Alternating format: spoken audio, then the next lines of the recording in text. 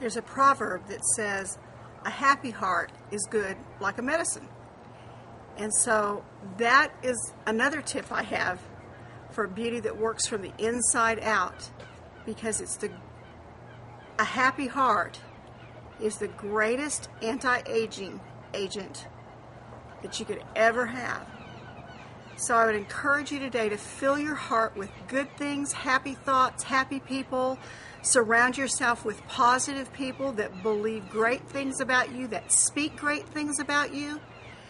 And if you're not in that circle of people, you can find them. Be one. Be the one that starts. Be the one that speaks encouraging and positive words to people uh, encourage people around you to, to believe for the best in their lives, that they can go great places and do great things.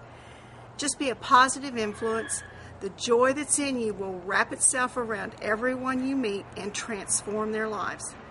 See you later. Bye.